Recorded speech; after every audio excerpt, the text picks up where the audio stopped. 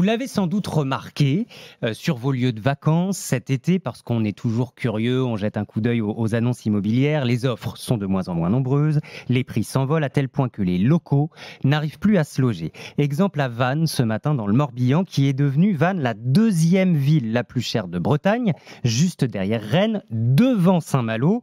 Bonjour Siam Spencer. Bonjour Mathieu. Vous avez passé la semaine à Vannes pour RMC et vous avez rencontré ses habitants, les Bretons, les locaux, qui n'ont plus les moyens de se loger comme Cédric.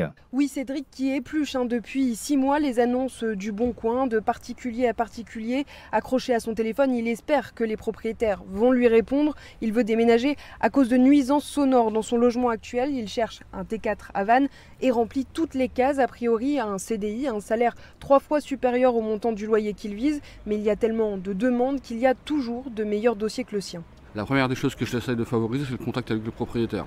C'est pas possible. Le gars, il sait très bien qu'il va avoir 50 demandes en une heure. 80% du temps, pas de réponse. Les propriétaires sont en position de force et de fait peuvent choisir les dossiers qu'ils souhaitent. Et quand ils s'adressent aux agences immobilières, même problème. La plupart du temps, le problème, c'est que les agences immobilières n'ont même pas la décence de vous rappeler pour vous dire votre dossier refusé. Et en fait, ils vous gardent en vivier, en fait. Je n'accepte pas d'être faire partie d'un vivier, je suis pas un homard. Ce vanneté de toujours a vu la situation se dégrader à vue d'œil ces dernières années. Ah oui, j'ai vu les choses augmenter, bien sûr. Et puis si avant on payait 500 euros un T3, maintenant on est arrivé à pratiquement 700.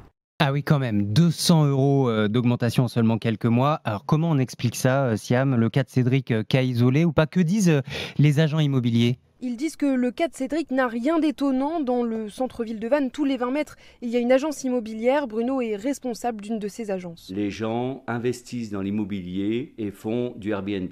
Et aujourd'hui, c'est un réel problème. On ne peut plus euh, trouver de location avec des beaux euh, euh, dits normaux. Hein. Tous les jours, on a des gens désespérés parce qu'ils ne trouvent plus de biens et pour eux ou pour leurs enfants. Euh, aujourd'hui, un vingtaine ne peut plus se loger à Vannes. C'est juste impossible. Avec la tension immobilière, les prix grimpent chaque année, plus 18% d'augmentation en un an pour l'achat d'un appartement. Et en plus, les maisons partent très vite. Je viens de vendre une maison euh, la semaine dernière. Euh, la personne a acheté sans visiter la maison. On met une annonce, le lendemain, on a une vingtaine d'appels. Puis je dirais qu'une maison ne reste qu'une semaine sur le marché. L'agglomération de Vannes est la plus chère de la région en termes de prix au mètre carré selon les notaires de Bretagne. Mais le phénomène touche de nombreuses villes moyennes. Ici en Bretagne, selon une enquête récente, les prix ont augmenté de plus de 30% entre 2020 et 2022. Et ça augmente euh, à cause des Parisiens, des Rennais aussi, euh, qui peuvent se permettre d'acheter des résidences secondaires au prix fort. Oui, c'est ce que disent les associations. De plus en plus d'acheteurs veulent une résidence secondaire ou un bien à louer en Airbnb,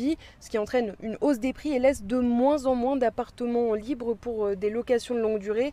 La coordination de plusieurs associations et collectifs Inti Abep INI, un logement pour tous en français, est vent debout contre ce phénomène qui touche toute la Bretagne. Tim Rogas en fait partie. Pour louer, comme il y a de moins en moins de biens, il faut avoir des dossiers qui correspondent. Donc il y a énormément de gens qui ont des grosses difficultés pour se loger, qui ne pas se loger, qui sont au, camping, dans leur véhicule ou chez des amis, et c'est dramatique. Pour lui, la solution, c'est reconnaître la Bretagne comme zone immobilière tendue, comme à Paris ou en bord de mer dans le PACA. Ce qui permettrait de surtaxer les résidences secondaires, par exemple, ou d'encadrer les loyers. Euh, il y a des choses qui sont proposées dans certaines villes, comme à Saint-Malo, où ils ont proposé des quotas. Et Saint-Malo intramuros, c'est 12% euh, maximum de résidences secondaires. À Vannes, le 10 septembre aura lieu une manifestation organisée par Inti Abep Ini pour interpeller les élus sur la question de l'accès au logement en Bretagne. Merci beaucoup. Siam Spencer, enquête complète à retrouver euh, sur notre site rmc.fr.